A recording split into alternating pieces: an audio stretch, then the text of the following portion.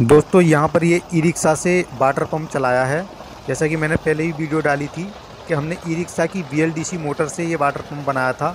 और दोस्तों यहाँ पर देख रहे हैं ये कबाड़ से ख़रीदी हुई पुरानी ई रिक्शा की मोटर है और ये कंट्रोलर भी पुराना है यानी सस्ते में जुगाड़ किया गया है। चार बाई चार का पंप इस पर लगाया गया है। देख रहे हैं लगभग दो से ढाई इंच पानी ये दे रहा है। तो इसको दोस्तों जो ई रिक्शा खड़ा है उसकी बैटरी से चलाया गया है। ये जो ई रिक्शा खड़ी है तो ये मान के चलें कि ये आराम से दो से तीन घंटे अगर बैटरी फुल चार्ज हो, चल जाता है। अभी बैटरी डिस्चार्ज होने वाली है तो यहाँ पर इसका परफॉर्मेंस जो है कम हो गया। वैसे भी दोस्तों, इसके हिसाब से जो पंप है, ये बड़ा लगाया गया है।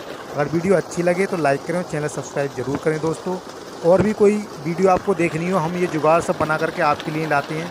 दोस्तों, आप इतना सपोर्ट करते हैं लाइक करते हैं, सब्सक्राइब करते हैं, हमें भी अच्छा लगता है। और इसकी डिटेल में वीडियो दोस्तों मैं इसमें पिन कर दूँगा या मैंने चैनल पर डाली है, उसको देखें। लेकिन लाइक और सब्सक्राइब ज़रूर करें। बहुत बहुत धन्यवाद आप सभी।